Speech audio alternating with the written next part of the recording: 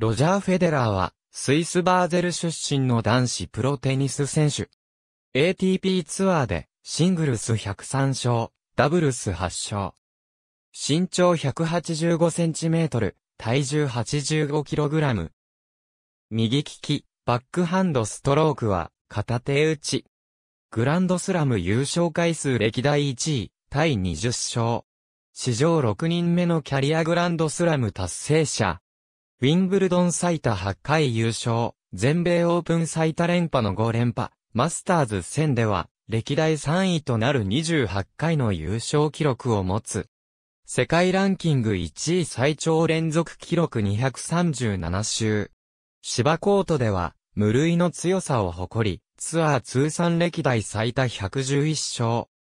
スイス代表としても、功績を残しており、2001年、2018年、2019年、ホップマンカップで優勝、2008年北京五輪、男子ダブルス金、メダル、2012年ロンドン五輪、男子シングルス銀メダル、2014年、デビスカップ優勝に貢献した。テニス界において、絶大なる人気を誇り、スポーツ界全体でも、名実ともに最高クラスの評価を受けている。フェデラーのサイン2002年全米オープンにてテニスを、たしなむ両親の影響から3歳の時に初めて、ラケットを握った。週末になると、父の勤める会社のテニスコートに連れてもらい家族で遊んだという。本格的にテニスに取り組むようになったのは8歳の時。母が彼を地元のテニスクラブに入会させてからだった。15歳になると、スイスの18歳以下のジュニアチャンピオンになり、これを機に、ジュニア選手として、本格的に世界を転戦。同年5月に、イタリアのジュニア大会で優勝し、初めて国外のタイトルを手にした。16歳で迎えた1998年は、ジュニアサーキットを席巻。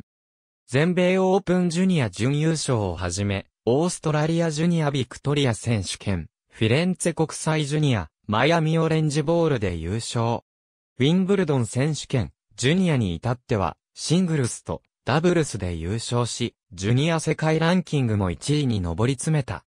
また、ATP ツアーの2大会に、招待枠で出場。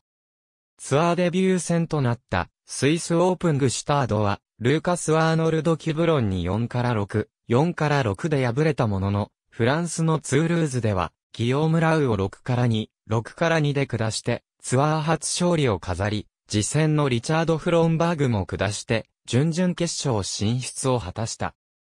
こうして、ツアーでも手応えを得たフェデラーは、いよいよプロ選手として活動していくこととなる。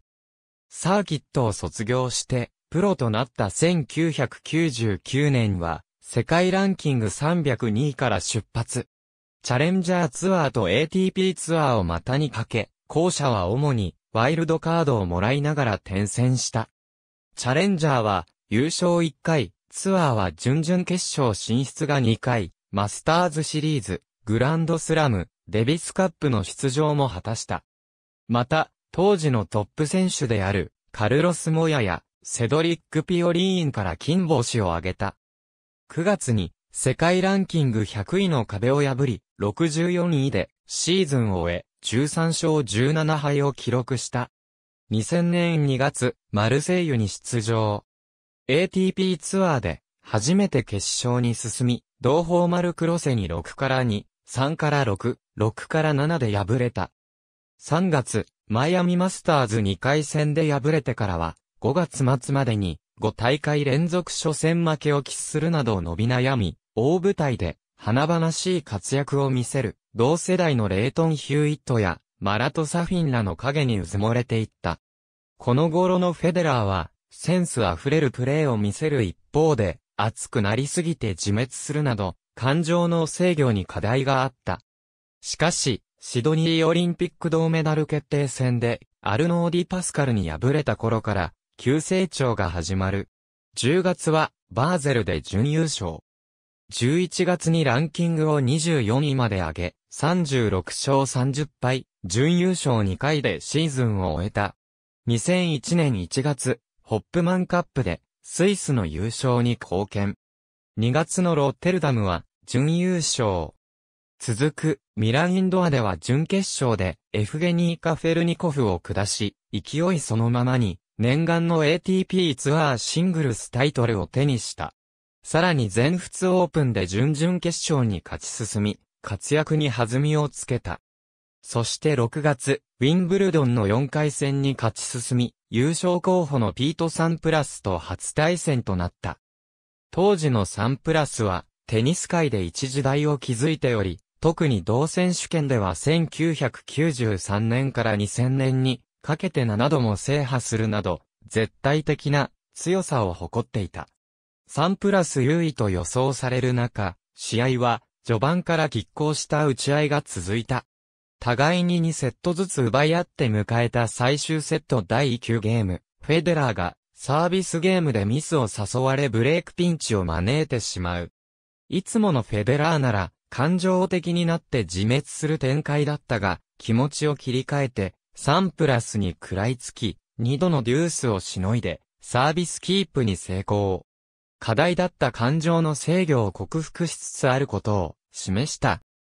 そして第12ゲーム、今度はフェデラーが3プラスのミスを誘ってブレイクチャンスをつかみ、最後はフォアハンドのリターンエースで決着をつけ、3時間41分に渡る7から6、5から7、6から4、6から7、7から5の番狂わせを演じ切った。この一戦は大きな注目を集め、一躍フェデラーを時の人とし、サンプラス時代の終焉を予感させる出来事となった。この後、フェデラーは、ティムヘンマン戦で力尽き、準々決勝でウィンブルドンを去ることとなる。この年は、バーゼルでも、準優勝し、ランキングを12位まで上げ、準優勝2回、優勝1回、49勝21敗でシーズンを終えた。2002年、グランドスラムは不本意な結果に終わるも、マスターズシリーズで躍進を見せ、マイアミでは、レートン・ヒューイットを下して、準優勝。ハンブルクでは、マラト・サフィンを下して、自身初のビッグタイトルを獲得。他のカテゴリーでは、シドニーとウィーンで優勝。5月には、世界ランキング10位の壁を破った。11月、ランキング上位8名のみ参戦できる、マスターズカップへ出場を果たし、準決勝に進出。この年はランキングを6位まで上げ、優勝3回、準優勝2回、58勝22敗でシーズンを終えた。2003年2月から6月にかけて6大会で決勝進出、内4大会で優勝するなど好調な前半戦を過ごした。この勢いで、ウィンブルドンへ乗り込むと、準決勝で優勝候補のアンディ・ロディックを、決勝では、マーク・フィリプーシスをストレートで下し、念願のグランドスラム優勝を、スイス人男子として、初めて成し遂げた。さらにマスターズカップで、これまで全敗を喫していたアンドレアガシをはじめ、この年のグランドスラムチャンピオンをすべて退けて、栄冠を手にした。この年は7大会で優勝し、78勝17敗を記録。自己最高の世界ランキング2位でシーズンを締めくくった。2004年、これまで4回戦進出が最高だった全豪オープンで決勝に勝ち進むと、サフィンを破って優勝。2月2日にはついに世界ランキング1位へ上り詰めた。以降、マスターズシリーズでは、インディアンウェルズ、ハンブルク、カナダで優勝。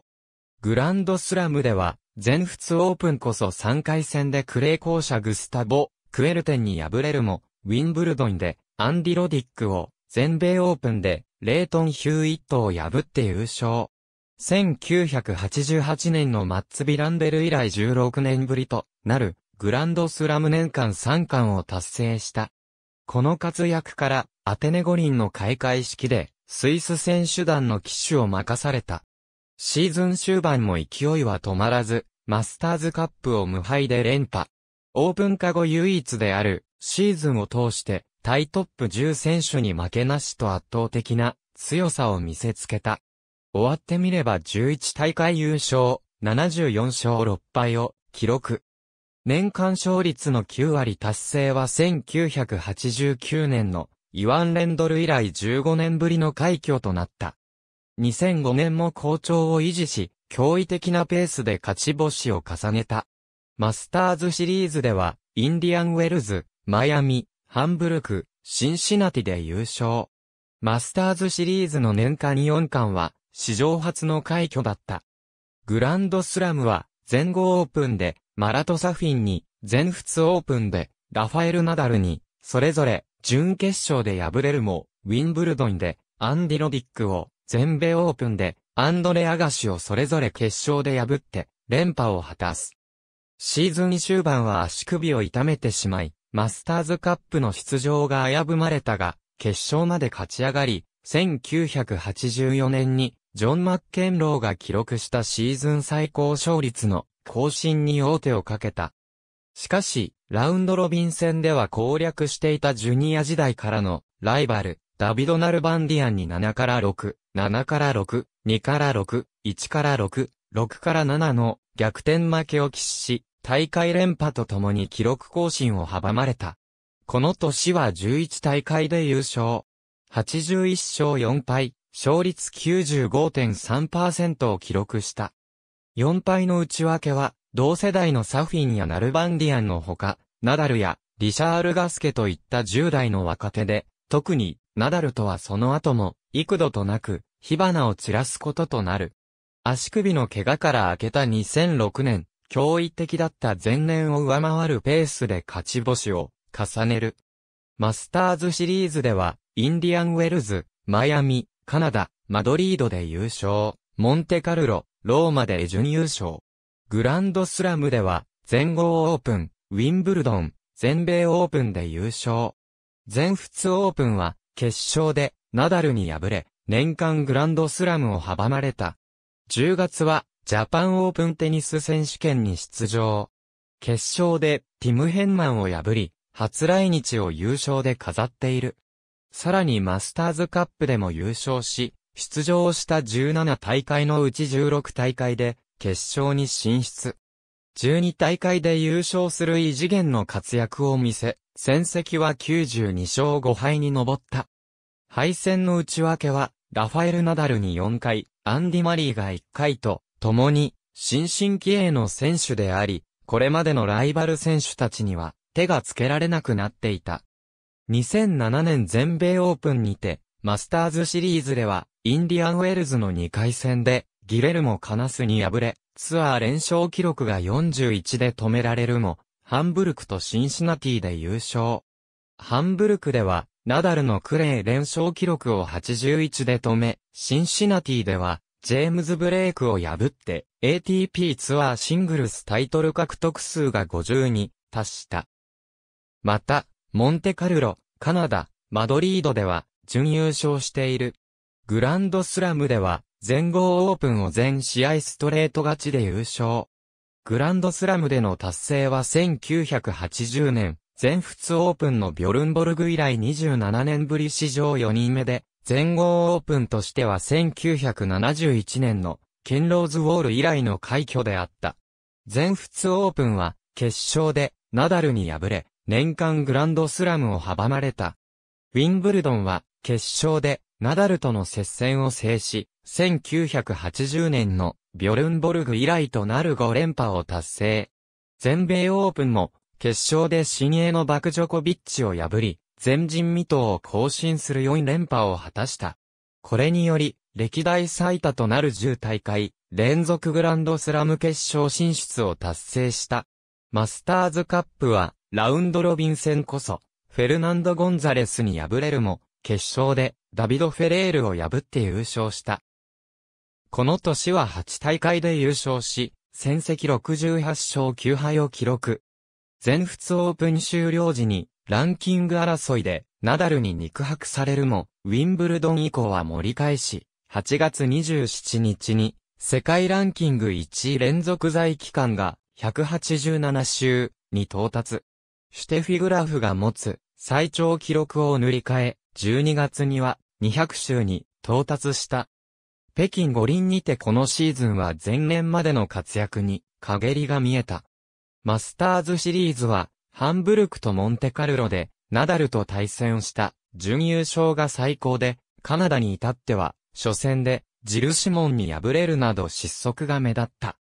グランドスラムは、全豪オープン準決勝で、ジョコビッチに敗れ、2005年ウィンブルドン選手権から続いていたグランドスラム連続決勝進出記録が10大会で途絶えた。全仏オープンは決勝でナダルに圧倒されて準優勝。ウィンブルドンでは決勝で再びナダルと対戦。ウィリアム連勝以来の選手権6連覇に挑むも4から6、4から6、7から6、7から6、7から9の4時間48分に及ぶ死闘の末に偉業達成を阻まれた。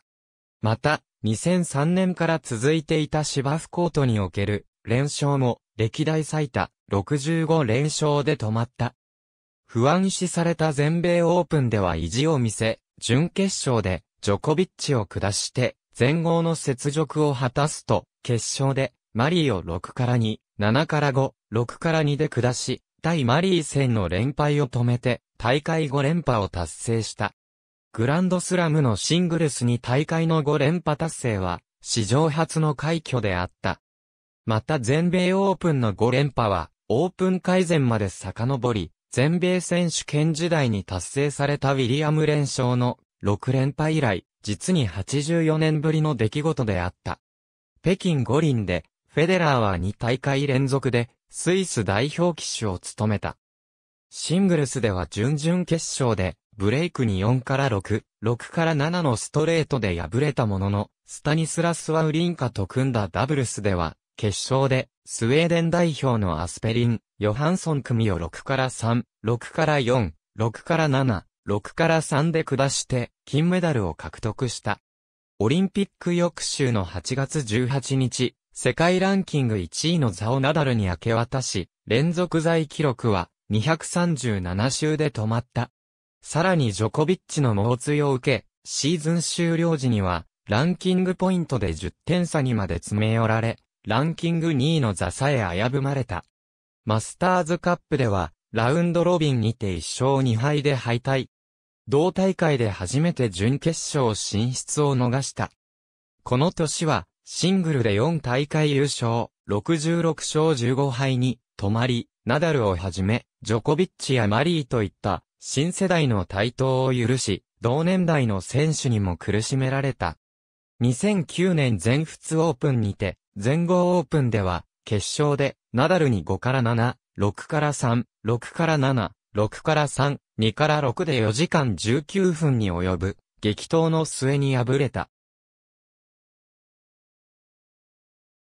その後のインディアンウェルズマスターズでは準決勝で、マリーに、マイアミマスターズでは準決勝で、ジョコビッチに敗れた。しかし続く、欧州クレーコートシーズンは、マドリードマスターズで、決勝で、ナダルのクレーコート連勝数を33勝で止めて、優勝。続く、全仏オープンでは、4回戦で、ナダルを破ったロビン・セーデリングを6から1、7から6、6から4で破り、悲願の全仏オープン初優勝を果たし、史上6人目となるキャリアグランドスラムを達成、合わせて3プラスと並び歴代1位となる4、大大会14度目の優勝を挙げた。また、同大会では、準々決勝で、ガエル・モンフィスを下し、4大大会準決勝連続進出記録を20大会連続に伸ばし、準決勝で、フアン・マルティンデル・ポトロを下して、4大大会決勝進出回数で、イワン・レンドルの19大会目に並んだ。ウィンブルドンでは、準々決勝で、イボカルロビッチを下し、4大大会連続準決勝進出記録を更新。準決勝では、トミー・ハースを下し、レンドルが持つ4大大会決勝進出数を更新する20回を達成。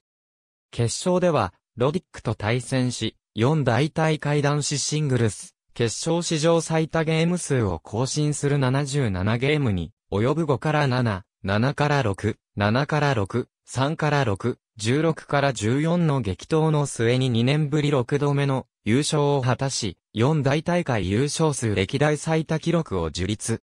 また、ウィンブルドン選手権7年連続決勝進出は、現行のトーナメント方式になった1922年以降初であり、さらに全仏とウィンブルドンの同一年度優勝は、前年のナダルに続き、1968年の4大大会オープン会以降では、史上4人目の快挙であった。7月6日に発表された世界ランキングでは、約11ヶ月ぶりに1位に返り咲いた。続く、全米オープン前哨戦シンシナティマスターズでは、決勝で、ジョコビッチを下して優勝。しかしながら、全米オープン決勝でデルポトロに6から3、6から7、6から4、6から7、2から6で惜敗し、大会6連覇はならなかった。その後の欧州インドアシーズンは、スイスインドア決勝で、ジョコビッチに敗れ、2009年度からロンドンに移転した年間最終戦 ATP ワールドツアーファイナルズも準決勝で敗退。この年は4大会で優勝61勝12敗であった。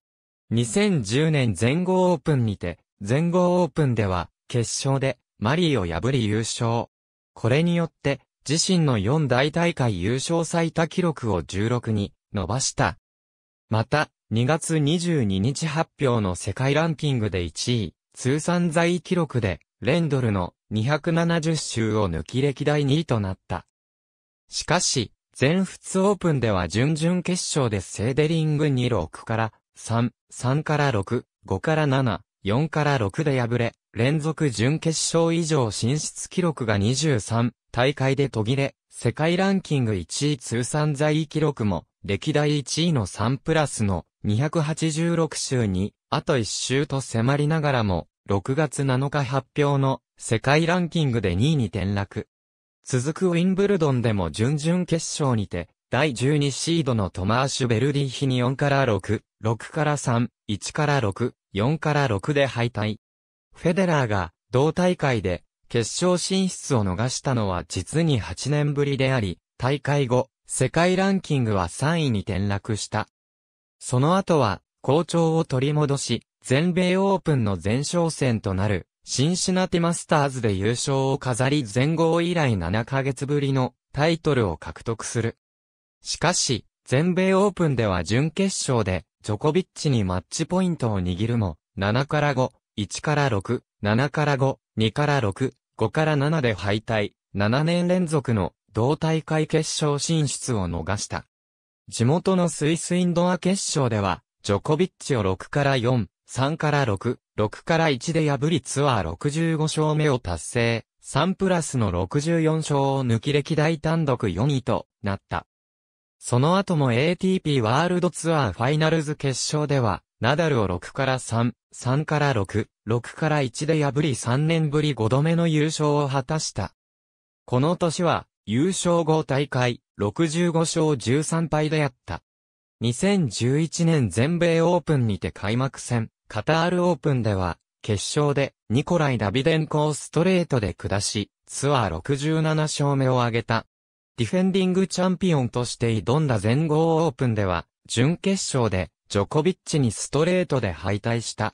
フェデラーは続く、ドバイテニス選手権の決勝と BNP パリバ、オープンの準決勝で、いずれも、ジョコビッチに敗退。さらに、マイアミマスターズでは準決勝で、ナダルに敗退した。ハードコートシーズンではいずれも準決勝進出以上と、優れた成績で終えたものの、ジョコビッチが出場した全大会で優勝したため、ジョコビッチに抜かれ世界ランキングは3位に後退した。クレーコートシーズンにおいては、モンテカルロマスターズは準々決勝で第7シードのユルゲン・メルツァーにストレートで敗退。続くマドリードマスターズの初戦でフェリシアーノ・ロペスに7から6、6から7、7から6の苦戦を強いられながらも勝利したが、準決勝でナダルに敗退。BNL イタリア国際は3回戦でリシャール・ガスケに6から4、6から7、6から7で早いラウンドで敗退した。全仏オープンでは、ナダルと今季絶好調のジョコビッチの優勝争いが注目されたが、準決勝でジョコビッチを7から6、6から3、3から6、7から6で退け決勝進出を果たした。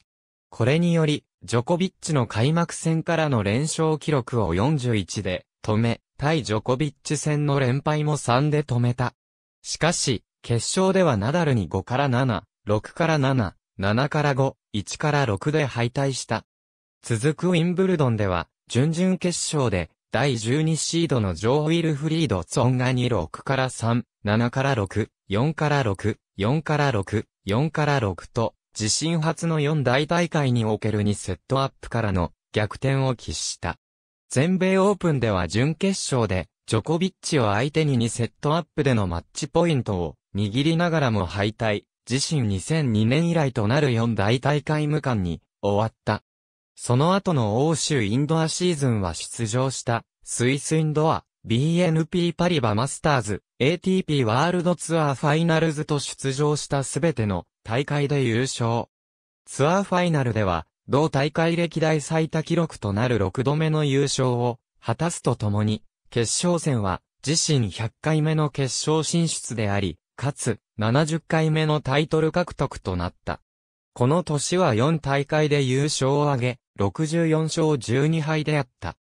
2012年ウィンブルドン選手権優勝年始に開催されたカタールオープン準決勝は背中の不調を理由に試合を棄権。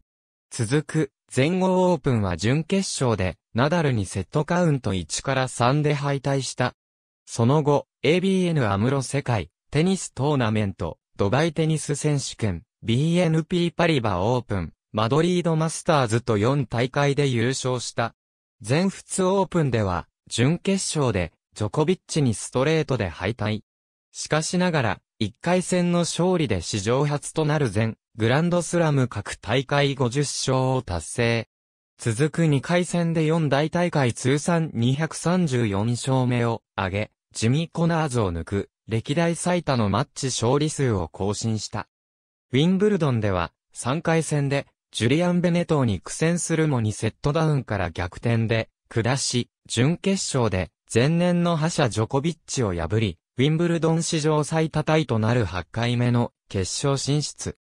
決勝では、イギリス勢74年ぶりの決勝進出を果たした、マリーを4から6、7から5、6から3、6から4で破り、ウィリアム連勝、3プラスに並ぶ、史上最多タイとなる7度目の優勝を飾ると同時に、4大大会通算17勝目を挙げた。そして、この優勝により、大会翌日更新の世界ランキングにいて、約2年ぶりに世界ランキング1位に返り咲き、その翌週のランキングで1位在位期間が通算287週となり、3プラスを抜いて男子歴代単独1位在位記録となった。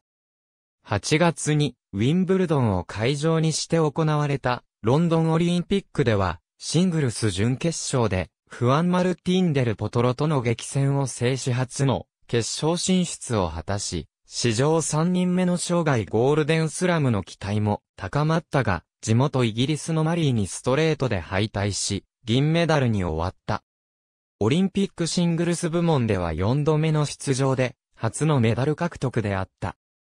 その後のシンシナティマスターズでは、決勝でジョコビッチをストレートで破り、シーズン6勝目を挙げた。全米オープンでは準々決勝でベルディヒに敗れ、同大会9年ぶりにベスト4進出を逃した。10月の上海マスターズでは、準決勝でマリーに敗退するも、大会後のランキングでは1位を守り、男子初の在位総集300周を超えた。しかしながら、その後のスイスインドアでは、決勝でデルポトロに4から6、7から6、6から7の接戦で敗退し、その後、昨年優勝した大会の欠場によるポイント執行と合わせて、11月5日のランキングでは、ジョコビッチに、世界ランキング1位の座を明け渡し、1位在位記録の更新は302周で止まった。ツアーファイナルでは、決勝で、ジョコビッチに敗れ3連覇を阻まれた。この年は6大会で優勝、71勝12敗と2007年以来の好戦績を収めた。2013年全仏オープンにて、全豪オープンでは準決勝で、マリーにフルセットの末敗退。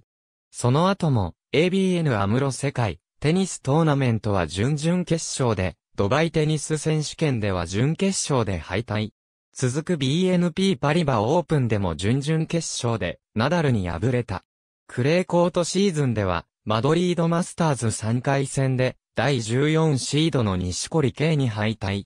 BNL イタリア国際では、半年ぶりにツアー大会の決勝に進出するもナダルに敗退した。全仏オープンでは、4回戦で、オープンカゴ史上4人目となるマッチ通算900勝を達成。しかし、続く、準々決勝でツォンガにストレートで敗退した。芝前哨戦、ゲリー・ウェバーオープンでは、決勝で、ミハイル・ユージニーを下し、6月にして、ようやくシーズン初タイトルを獲得。しかし、ウィンブルドンでは、2回戦で、世界ランク116位のセルジー・スタホフスキーに7から6、6から7、5から7、6から7で敗れ、4大大会では2003年全仏オープン以来の早期敗退を喫した。この敗戦により、2004年ウィンブルドン選手権から続いていた4大大会連続ベスト8、進出記録が途絶え、大会後のランキングでも10年ぶりに世界ランキングトップ4から陥落した。その後急遽出場したクレーコートに大会でも背中の怪我の影響もあり、ランキング50位以下の相手に連敗を喫した。ランキング7位で迎えた全米オープンにおいても4回戦で過去全勝だったトミー・ロブレドに敗退。2002年来、4大大会の決勝進出がならない年となった。欧州インドアシーズンに入り、スイスインドアで準優勝。続く BNP パリバマスターズでベスト4とし、一時は出場も危ぶまれた ATP ワールドツアーファイナルズに出場、ラウンドロビンで2勝を挙げ、ベスト4へ進出するなど、復調の兆しを見せた。2013年はツアー大会優勝が1大会のみで、マスターズ1000以上の大会でタイトルが一つも取れなかったのは2001年以来、戦績も45勝17敗と、過去10年間で成績が最も悪い年であった。2014年全豪オープンにて2014年から元世界ランク1位でサーブボレーの名手であったステファン・エドベリをコーチとして迎え入れた。年初のブリスベン国際で準優勝。続く全豪オープンでは準決勝で第1シードのナダルに敗退したものの4大大会では4大会ぶりにベスト4まで勝ち上がった。2月のドバイテニス選手権では、準決勝でジョコビッチに、決勝でベルディヒに勝利し、シーズン初優勝を飾った。また、この優勝で、シングルスタイトル数が78となり、ジョン・マッケンローを抜いて、歴代単独3位となった。BNP パリバオープンでも決勝に進出するが、ジョコビッチに6から3、3から6、6から7の赤敗。続く、マイアミマスターズでは、準々決勝で西堀圭に敗退したものの、大会後のランキングでは、約9ヶ月ぶりにトップ4に復帰した。クレーコートシーズンでは、モンテカルロマスターズでは6年ぶりに決勝進出を果たすが、スタニスラス・ワウリンカに敗れ準優勝。BNL イタリア国際では、初戦で敗退し、全仏オープンでは、4回戦で、第18シードのエルネス・ツグルビスにフルセットの末敗退し、同大会10年ぶりにベスト8進出を逃した。ウィンブルドン前哨戦、ゲリー・ウェバーオープンで優勝し、迎えたウィンブルドンでは、年初から取り組んでいた、ネットプレーを増やす戦術が走行し、2年ぶりに決勝進出を果たした。決勝では、歴代単独最多8回目の優勝を目指し、第1シードのジョコビッチと対戦したが、7から6、4から6、6から7、7から5、4から6のフルセットの末に敗れ、準優勝に終わった。全米オープン前哨戦でも好調を維持し、ロジャーズカップシンシナティマスターズ2大会連続で決勝進出。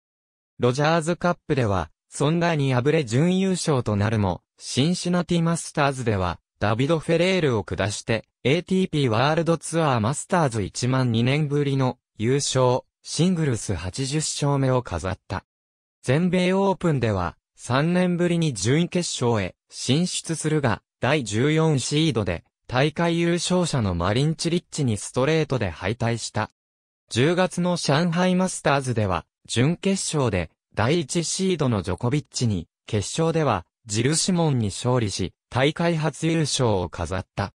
地元開催スイスインドアでは、同一大会で最多となる11回目の決勝に進出し、決勝では若手のダビド5ファンを下してシーズン5勝目を挙げた。続く BNP パリバマスターズでは、準々決勝でミロシュラオニッチに敗退した。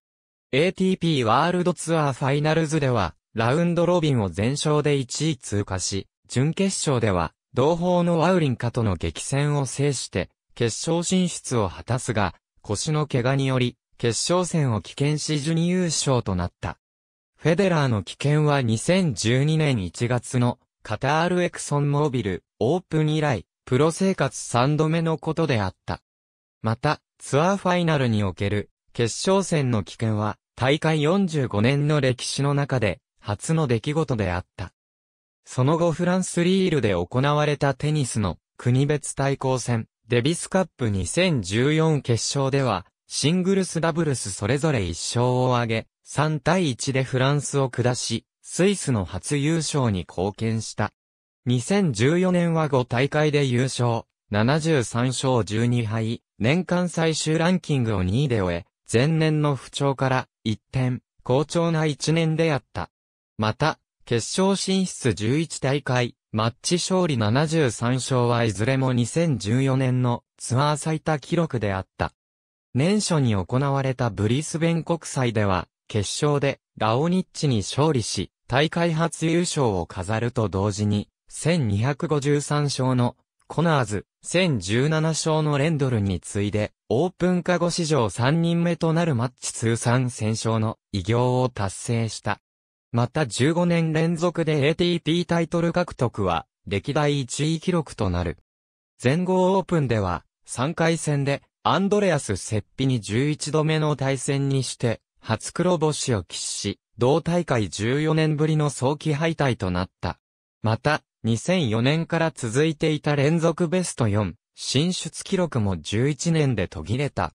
2月のドバイテニス選手権では、決勝でジョコビッチを破り、大会連覇、7度目の優勝を飾った。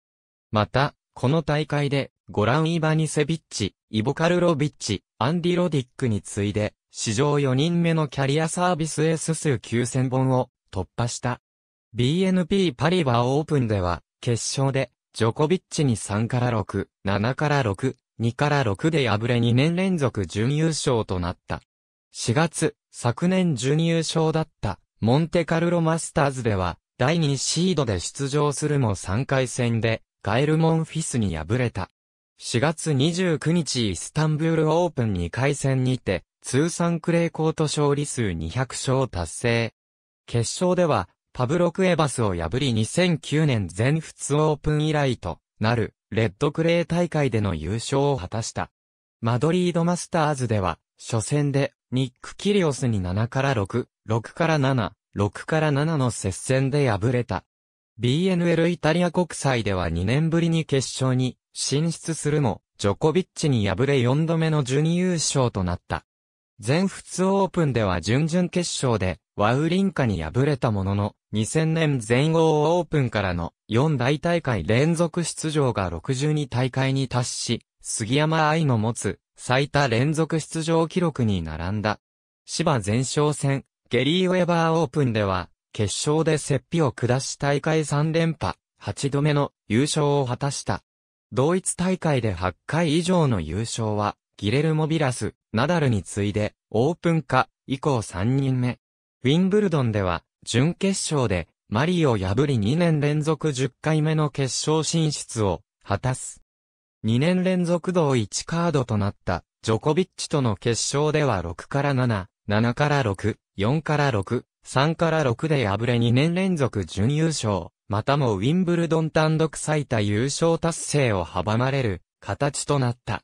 全米オープン前哨戦のシンシナティマスターズでは、ロベルト・バウティスタ・アグート、ケビン・アンダーソン、フェリシアーノ・ロペス、準決勝で、マリー、決勝で、ジョコビッチにストレート勝ちし大会連覇と同時に7度目の優勝を飾った。全米オープンでは、出セット0、出ゲーム43と圧倒した勝ち上がりで2009年、以来6年ぶりの決勝進出を果たす。しかし決勝では、先のウィンブルドンに続きまたも、ジョコビッチに4から6、7から5、4から6、4から6で敗れ12優勝に終わった。上海マスターズでは、初戦で、アルベルト・ラモス・ビニョラスに6から7、6から2、3から6で敗れた。地元開催スイスインドアでは、大会12度目の決勝で、ナダルを6から3、5から7、6から3で下し7度目の優勝、シーズン6勝目を飾った。ナダルとの対戦は2014年前後以来、約2年ぶり、決勝では2013年5月から約2年半ぶり、勝利したのは2012年 BNP パリバオープン以来のこととなった。BNP パリバマスターズでは3回戦で、ジョン・イズナーに6から7、6から3、6から7で敗れた。ATP ワールドツアーファイナルズでは、第2戦で、ジョコビッチ7から5、6から2で勝利するなど決勝に進出するも、ジョコビッチに3から6、4から6で敗れた。2015年は6大会で優勝、63勝11敗、年間最終ランキング3位と引き続き好調だった。全豪オープンでは3回戦では、グリゴール・ディミトロフに勝利し、史上初のグランドスラム通算300勝を達成した。この大会は準決勝で、ジョコビッチに1から6、2から6、6から3、3から6で敗れた。前後後に受けた左膝の内視鏡手術のため、出場予定だった ABN アムロ世界テニストーナメントとドバイテニス選手権、さらに BNP パリバオープンの欠場を発表した。マイアミオープンには、第3シードでエントリーするも、イノウイルス性疾患により、初戦直前に危険。前後から2ヶ月以上もの期間、ツアーを離れる形になった。その後、4月のモンテカルロマスターズで復帰。準々決勝でツォンガに敗れた。しかし全仏オープンへの準備として、当初は出場予定ではなかった、マドリードマスターズにエントリーするも、背部の怪我のために、再び初戦前に危険。タフなシーズンになっていると話す。BNL イタリア国際では3回戦で22歳のドミニクティームに6から7、4から6で敗れた。全仏オープンは、怪我が回復しなかったため、欠場を表明。1999年全米オープン以来のグランドスラム欠場となり、グランドスラム連続出場記録も65で止まった。6月の芝の大会のメルセデスカップで復帰するも、復帰初戦の準決勝で、チームに6から3、6から7、4から6で敗れた。ゲリー・ウェバーオープンでは準決勝で19歳の若手のアレクサンダー・ズベレフに敗れた。フェデラーがウィンブルドン選手権まで優勝がないのは2001年以来。ウィンブルドン選手権では準々決勝で、チリッチに2セット選手され、第4セットで、マッチポイントを3度まで追い込まれるも、6から7、4から6、6から3、7から6、6から3で勝利。これで、ウィンブルドン男子シングルス通算84勝となり、ジミー・コナーズと並んで、歴代1位タイとなった。また4大大会通算307勝目でもあり、マルチナ・ナブラチロワを抜いて男女合わせて、歴代1位となった。準決勝で、ラオニッチに3から6、7から6、6から4、5から7、3から6で敗れた。試合中の転倒により再び左膝を負傷。リオ五輪の出場断念とシーズンの残り全試合を欠場することを発表した。これにより11月に2002年10月以来14年ぶりにトップ10落ちとなった。2016年はこのように怪我の影響で16年ぶりに優勝なし21勝7敗年間最終ランキング16位と低迷した。15年ぶりの出場となるホップマンカップで復帰を果たす。ベリンダ・ベンチッチとスイス代表として出場し、2勝1敗でラウンドロビン敗退に終わる。公式戦には、全豪オープンから復帰。怪我でランキングを落としていたため、第17シードとして出場。その初戦ではベテランで、同年代のユルゲン・メルツァーに7から5、3から6、6から2、6から2で、勝利、3回戦で、第10シードのトマーシュ・ベルディハンに6から2、6から4、6から4のストレート勝ち。4回戦で、第5シードの西堀圭と、初めて、グランドスラムで、対戦、6から7、6から4、6から1、4から6、6から3で破り、準々決勝で、ミーシャ・ズベレフに6から1、7から5、6から2で破り、準決勝で第4シードのスタン・ワウリンカを7から5、6から3、1から6、4から6、6から3で破り、7年ぶりに決勝進出。自身全豪オープンで100試合目となった決勝では、第9シードのラファエル・ナダルとグランドスラムでは2014年、全豪オープン以来、グランドスラム決勝では2011年全仏オープン以来の対戦となり、6から4、3から6、6から1、3から6、6から3で破って、全豪では2010年以来5回目、グランドスラムでは2012年ウィンブルドン選手権以来となる優勝を収め、完全復活を印象づける大会となった。なお、全豪のオープン化後初となる世界ランキングトップ10の4人を倒しての優勝でもあった。2月のドバイテニス選手権では2回戦で、エフゲニー・ドンスコイ相手に3回のマッチポイントを迎えるも、6から3、6から7、6から7で敗れた。3月の BNP パリバオープンでは4回戦で、ラファエル・ナダルに6から2、6から3で勝利。決勝に駒を進め、スタンワウリンカを6から4、7から5で破り、ノバク・ジョコビッチに並ぶ、大会最多5回目の優勝を果たした。続く、マイアミオープンでは、フランシス・ティア4に7から6、6から3、フアン・マルティンデル・ポトロに6から3、6から4、ロベルト・バウティスターグーと7から6、7から6にいずれも、ストレート勝ち、準々決勝で、トマーシュ・ベルディ派にマッチポイントを2つ握られるも6から2、3から6、7から6で、勝利、準決勝で、ニック・キリオスに7から6、6から7、7から6と3時間10分の死闘を制した。決勝で、ラファエル・ナダルを6から3、6から4で破り、マスターズに大会連続大会3度目の優勝を果たした。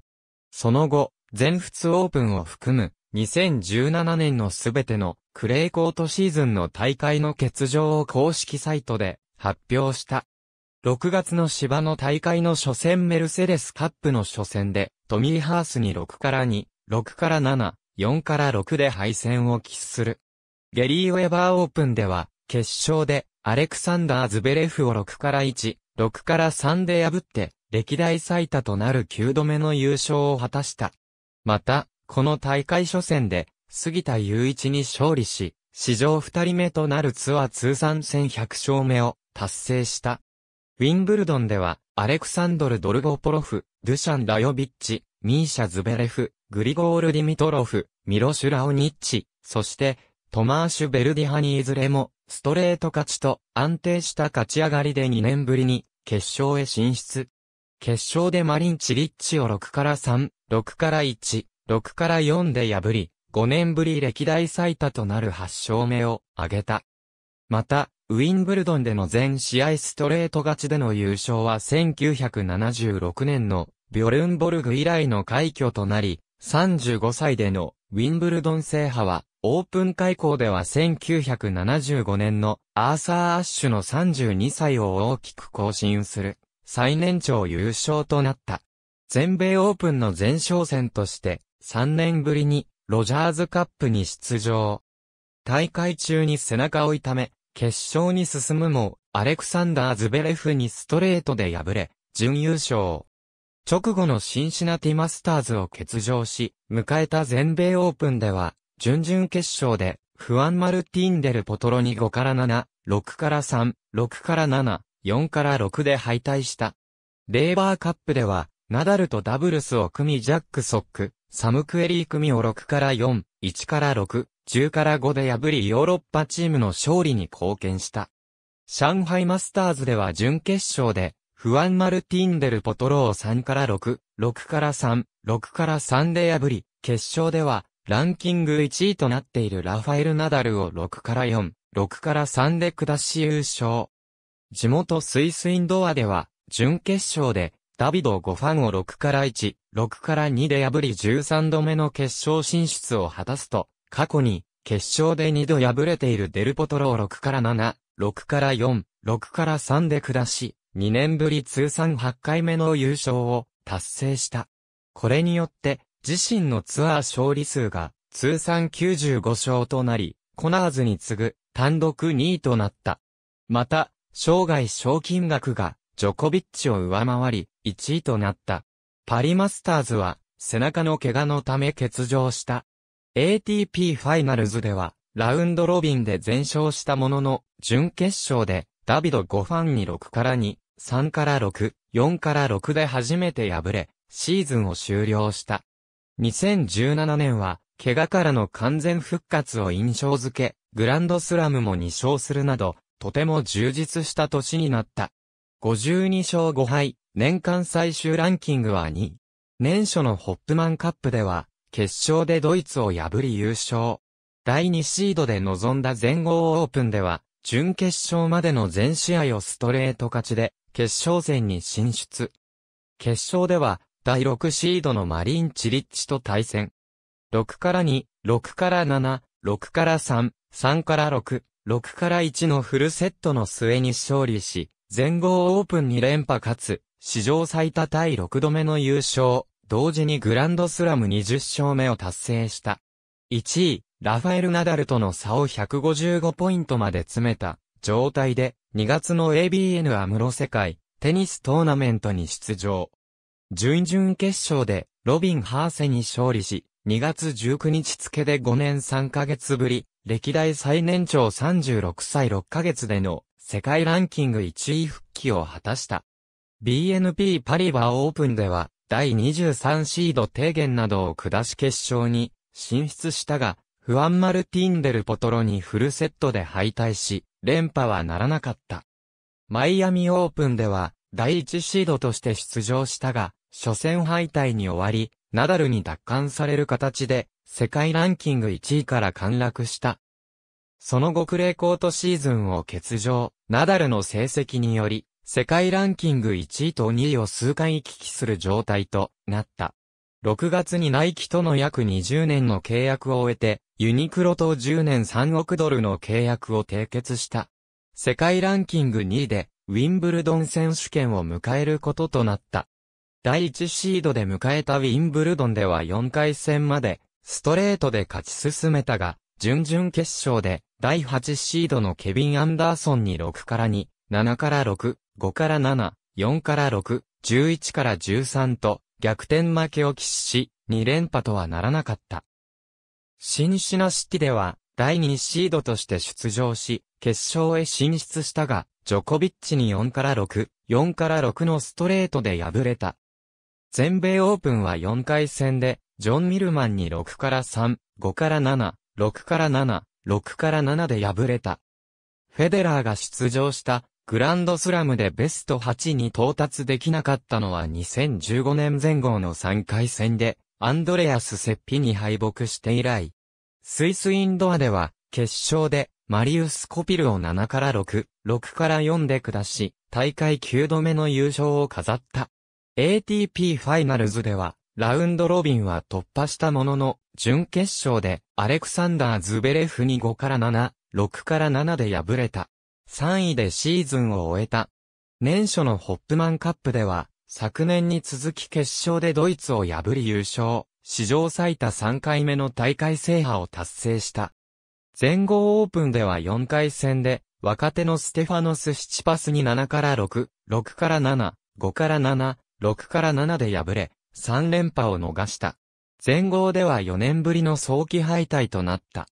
2月のドバイテニス選手権では、決勝で、7パスに6から4、6から4で雪辱を果たし、同大会最多となる8度目の優勝を飾るとともに、ツアー大会で、ジミー・コナーズに次ぐ、史上2人目のシングルス通算100勝を達成した。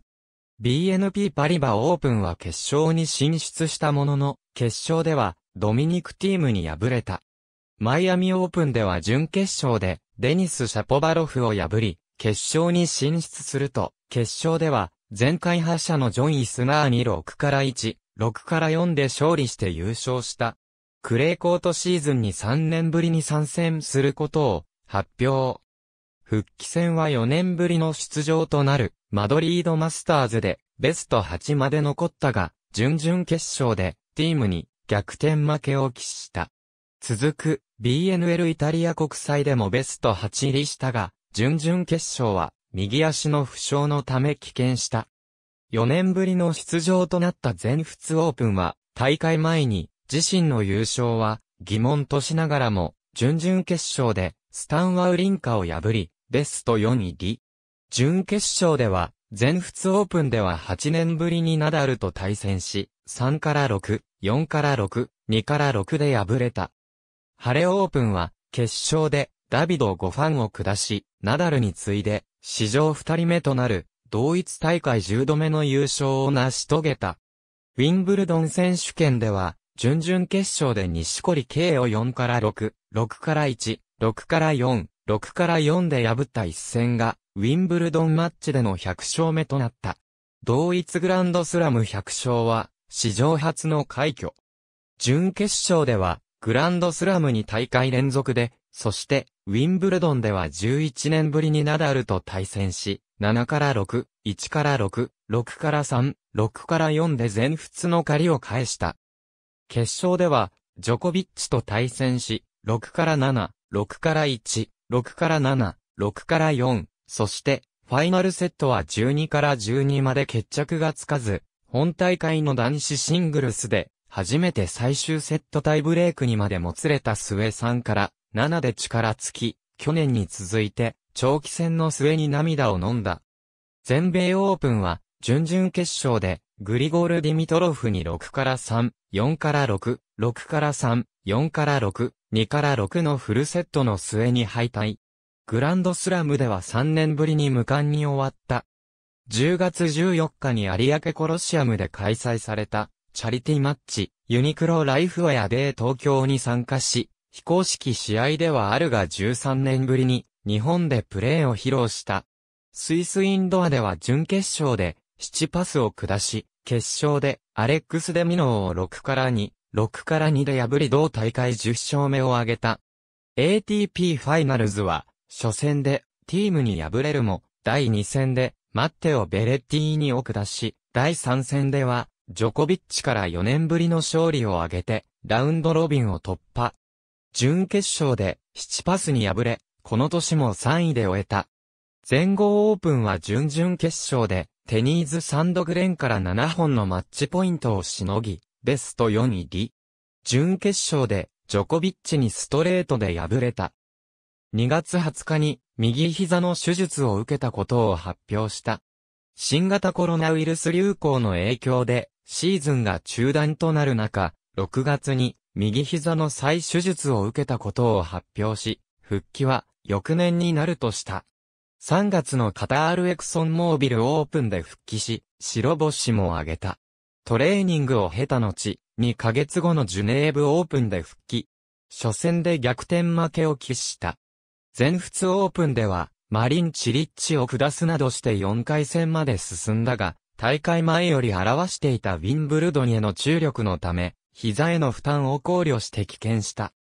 ウィンブルドン選手権では7大会連続でベスト8入りするも、準々決勝で、フベルト・フルカチュに3から6、6から7、0から6で敗れた。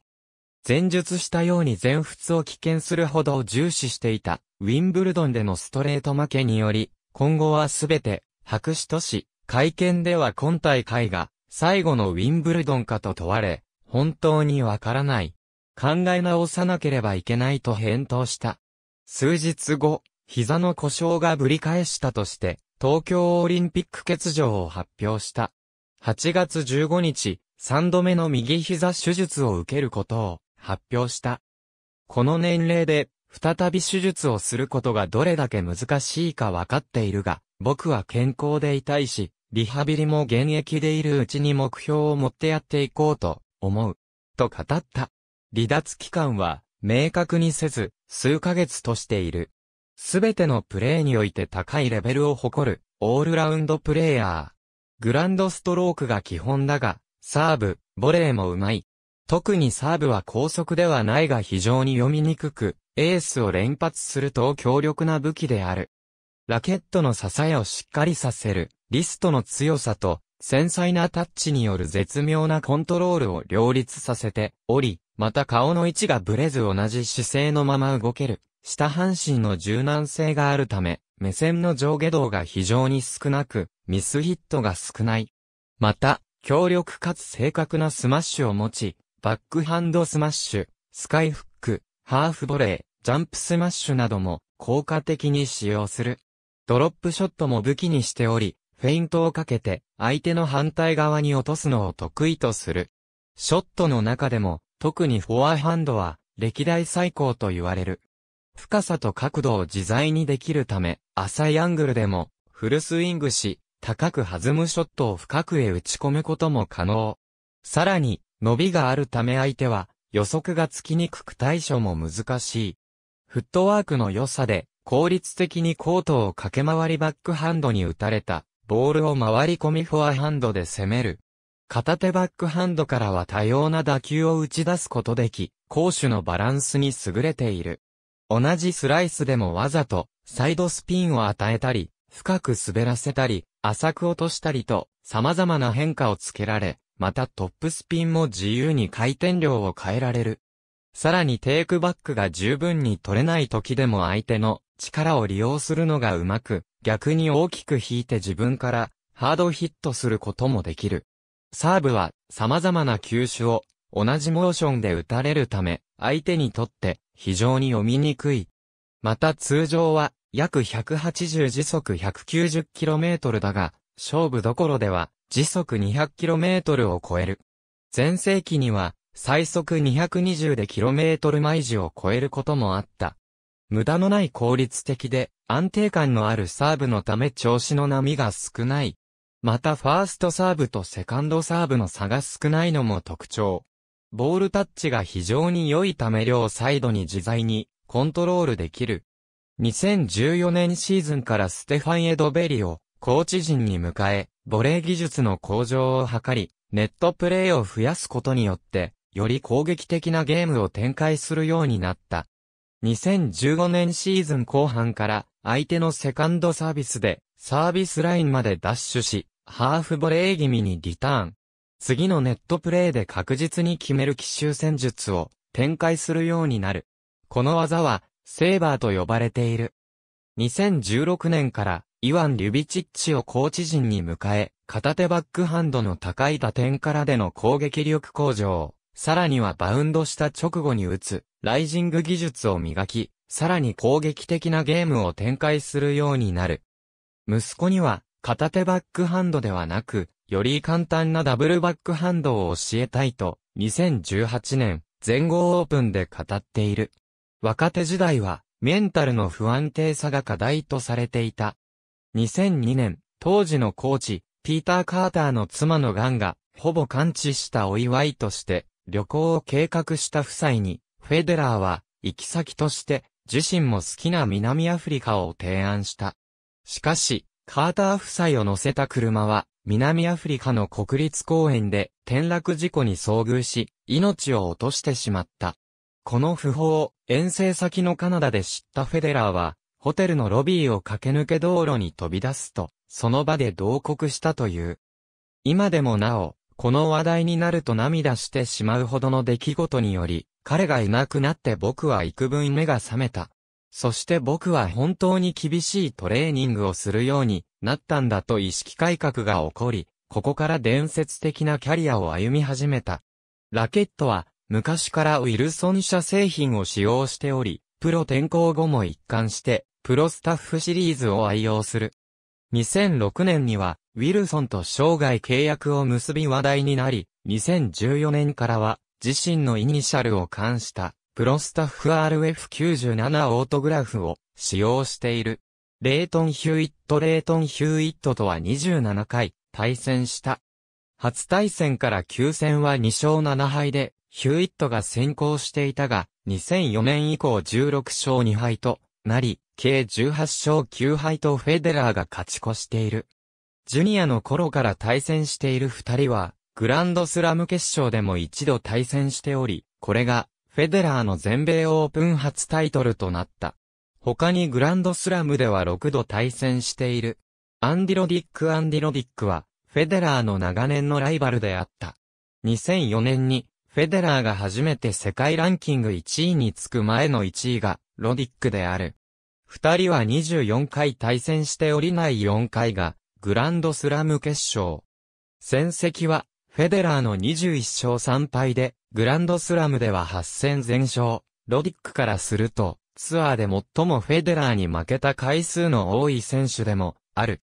それゆえ、ロディック自身は、一方的で、ライバルというには、ふさわしくないとも語っている。2009年ウィンブルドン決勝では5セットで勝利した。この決勝は、最終セット16から14で計77ゲーム、4時間以上の激戦となった。この勝利でフェデラーは、3プラスの4大大会最多優勝記録を更新する15度目の優勝を果たした。ラファエル・ナダル・フェデラーとナダル2006年ウィンブルドン選手権、決勝ラファエル・ナダルとの対戦成績は16勝24敗である。男子テニス界において、最も人気のある二人で、対照的なプレースタイルからも、最高のライバルであるとされている。ノバク・ジョコビッチ・フェデラー・ジョコビッチ2015年、シンシナティマスターズ決勝のバク・ジョコビッチとの対戦は23勝27敗である。ジョコビッチはフェデラーが生涯最も対戦したライバルで、二人はグランドスラムで史上最多となる16回の対戦があり、結果は6勝10敗である。ジョコビッチはビッグ4位と呼ばれるフェデラー、ナダル、マリー全選手に唯一勝ち越している選手である。2011年全仏準決勝では、セットカウント3から1でフェデラーが勝利した。シーズン開幕から41連勝と破竹の勢いだったジョコビッチをフェデラーが止め記録更新を阻んだ一戦だった。ジョコビッチは4大大会3冠を達成した年であり、この試合に勝てていれば年間グランドスラムも夢ではなく、ビッグチャンスを逃した一戦である。その後の2011年全米準決勝では、ジョコビッチが3から2フルセットで激戦を制した。この後決勝で、ナダルに解消し、ジョコビッチが4大大会3冠を達成している。この試合、最終セット、フェデラーのサーブで、マッチポイントを迎える。絶対絶命の状態で、ジョコビッチは強烈なリターンエースを決めて、形勢逆転にしたシーンは歴史に残る名場面である。2012年ウィンブルドン準決勝はフェデラーが3から1で解消した一戦。フェデラーはこの後決勝でマリーを破り、グランドスラム17回目の優勝、ナンバーワン帰り咲き、史上最長ナンバーワン記録達成につなげることになった。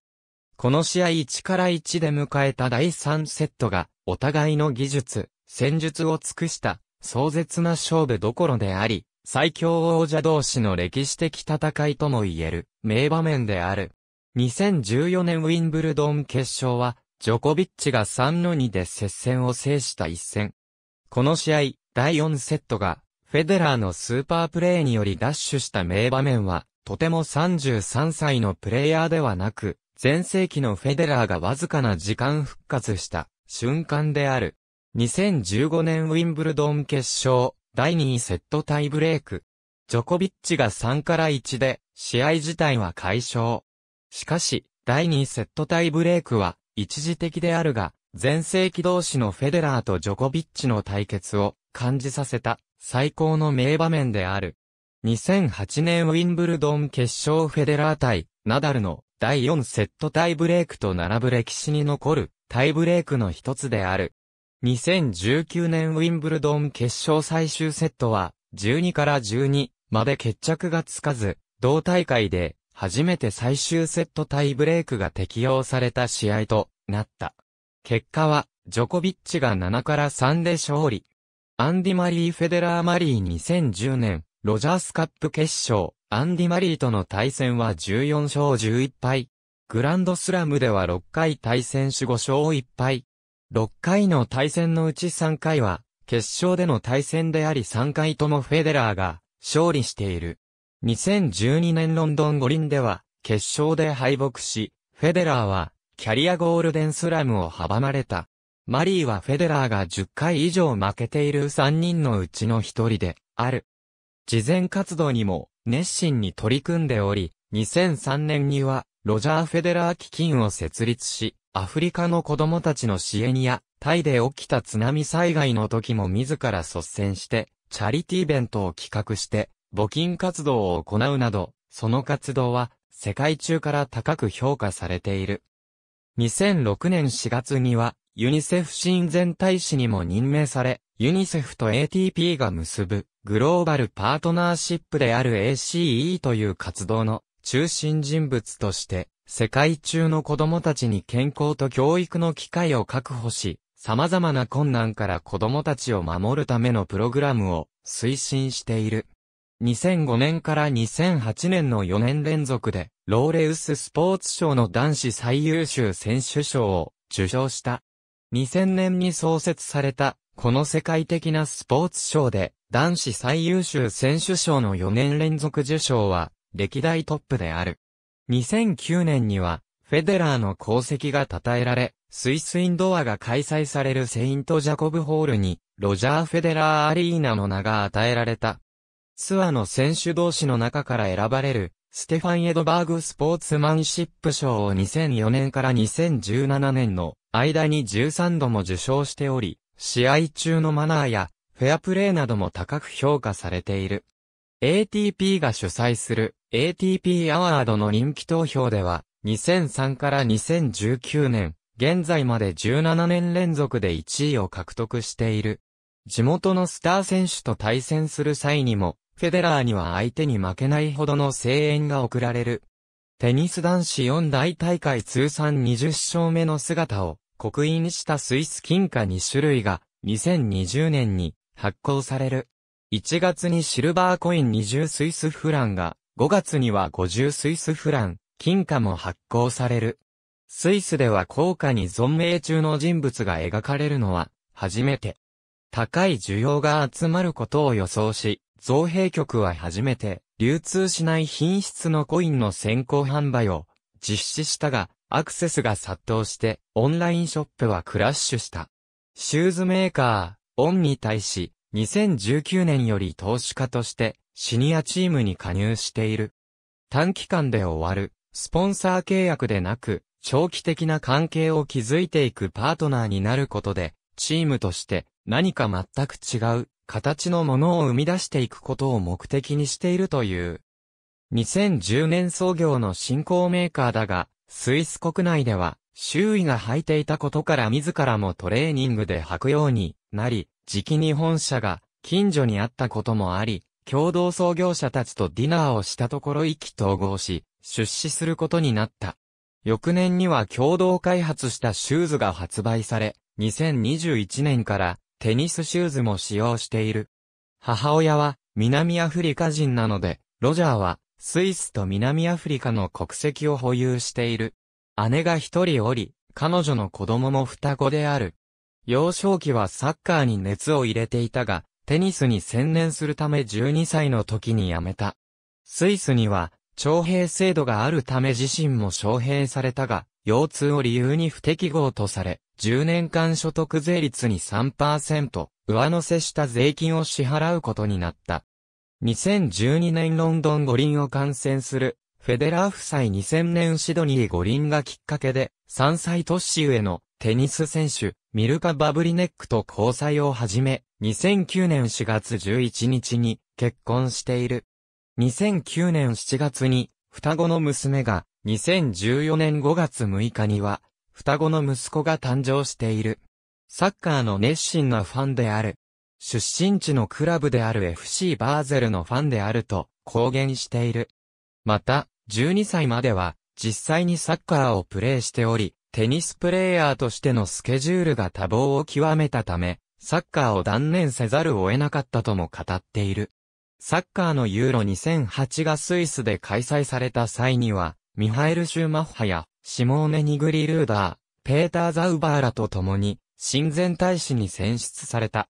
生涯契約のウィルソンや10年3億ドル契約のユニクロ、ロレックス、メルセデス・ベンツ、クレディ、スイスなど、名だたる大企業と高額のスポンサー契約を結んでいる。2011年6月、米経済誌、フォーブス発表の最も稼いでいる30歳未満のセレブにおいて、年収4700万ドルで4位にランクインしている。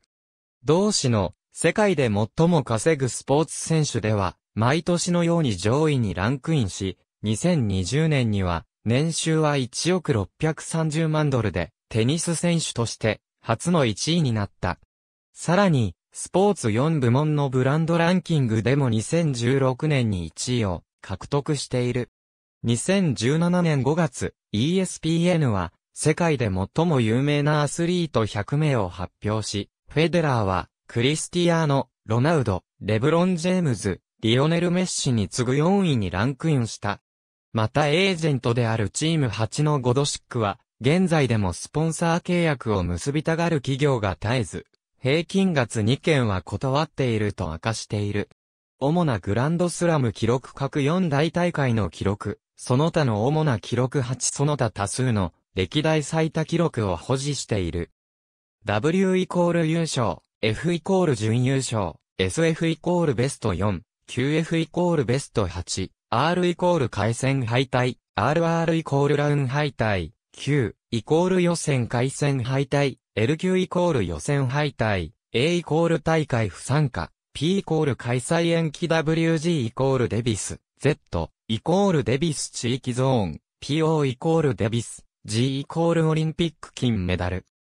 S イコールオリンピック銀メダル、SF、B イコールオリンピック銅メダル、NMS イコールマスターズシリーズから降格、NH イコール開催なし。2004年全米4回戦、2007年ウィンブルドーム4回戦、2012年全豪2回戦、2012年全米4回戦の不戦勝、2021年全仏4回戦の不戦敗は通算成績に含まない。ありがとうございます。